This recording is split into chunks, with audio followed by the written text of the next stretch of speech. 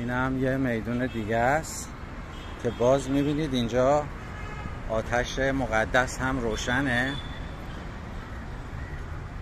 این این بابا صاحب آمبرکار Great Son of India Revolutionary Social Reformer.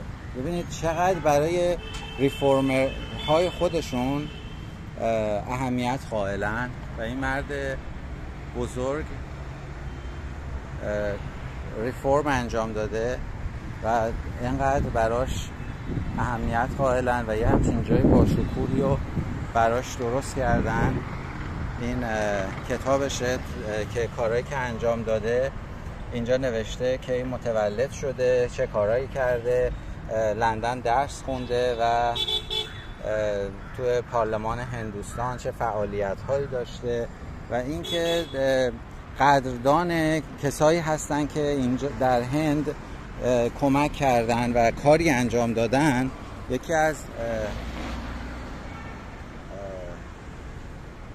کارهای جالبه واقعا شکار. این فامیلیش آنی شکار. آنی شخار. این هم این حتی هنوزم براش دست گل گذاشتن و یه گل لوتوس هم پای این مجسمشه و واقعا هنوز کسایی هستن که میان براش گل می‌ذارن شم روشن می‌کنن و این اهمیت دادن به دانشمندان ریفورمرها و پولیتیشن ها سیاست خیلی واقعا یکی از ویژگی های مهم این هندوهاست هندی هاست که تونسته اینا رو موفق کنه و امروز پنجمین قدرت اقتصادی جهان بشن.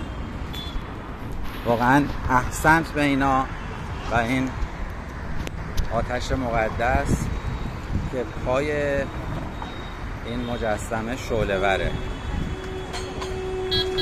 نشون میده که این هندی چقدر خاص میدارن.